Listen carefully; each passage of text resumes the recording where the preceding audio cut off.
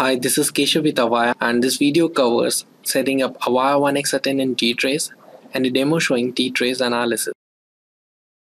Once Avaya T-Trace has been installed, then there are two components of the T-Trace that will start showing up in the All Programs menu.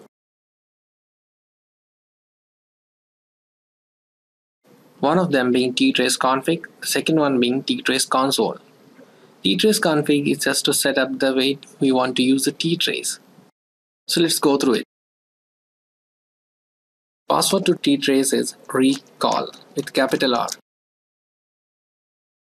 The only two fields that we are concerned about is the directory for log files, which if not set is the default location inside the program files, but if you want to change it, you can give a different location. The second setting that you want to change is remember manual category switches. This is just to ensure that ttrace remembers the log categories that we set up here.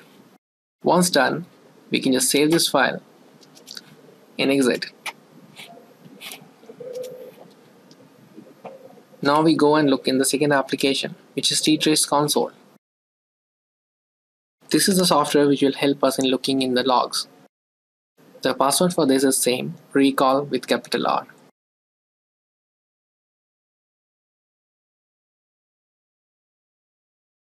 Now, under ttrace, we see two options. One is a SCTAPI and second one is OSPC. It also shows up T-Trace server, which we are not interested in looking. SCTAPI shows the connection between the CM and the 1x attendant and the relevant messages that are shared between these two. Whereas the OSPC shows the application logs. Under SCTAPI, there are various subcategories which collect various different messages that are exchanged between CM and 1x attendant.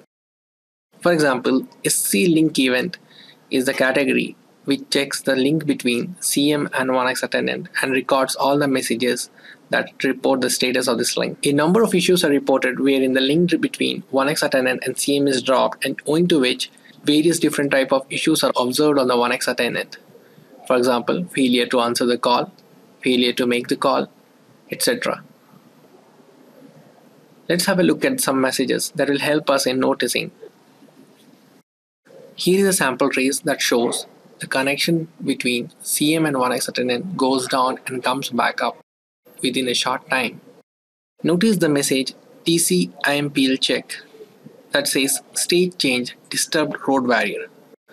Road barrier is the state in which 1x attendant is logged in. This is the first message that shows that the 1x attendant to CM link is having some problem.